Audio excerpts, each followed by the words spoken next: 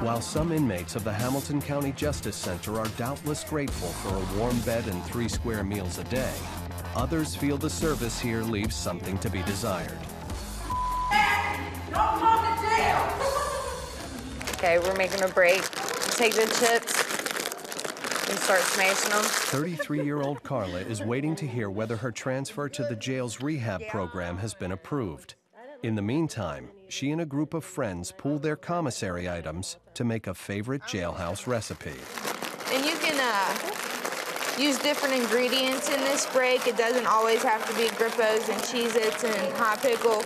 You can use um, beef and cheese sticks. Yeah, chicken, beef and cheese I'm using tuna. You can make chocolate breaks, put all the chocolate together.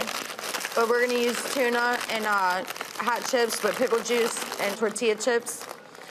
Well, and the variety Well, of flavors mixed together okay. makes it taste pretty decent, but it uses a lot out of your commissary. Look at mm-hmm. that. Like you'll get like three different people and you all throw in, so that way it's not one person using all their commissary.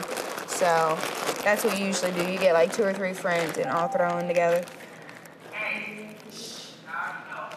After you mix it all together, you add the pickle juice to make it wet. It sticks the ingredients together. You squish it. And you just squish it. Instead of just one person eating a bag of chips, four of us can sit here and laugh and cut up and eat a break. Chop it up. You just take your fingernails and cut it up because we don't have nothing to cut it with.